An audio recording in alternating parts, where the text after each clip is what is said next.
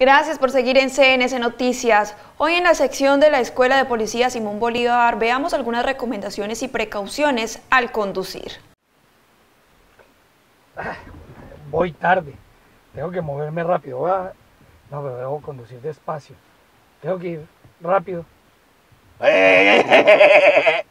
Usted es de los míos, claro, hágale bien rápido. No, no, no, no, no, eso no se puede rápido. Como dicen por ahí, métale la chancla. no, señor, no le voy a hacer caso. Debemos de conducir despacio. Oiga, señor coronel, ¿y por qué no le mete quinta y una vez para que corra de una? por una razón muy simple. Y este mensaje es para todos, para los niños, para los papás y para quienes conducimos una máquina como esta. No debemos dejarnos influenciar porque vamos tarde o porque no vamos a llegar a tiempo. La seguridad vial depende de nosotros. La vida de los que van en el carro o en la moto depende del conductor.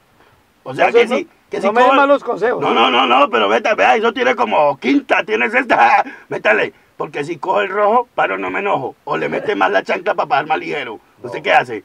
Nada, hay que esperar. El rojo es señal de alerta.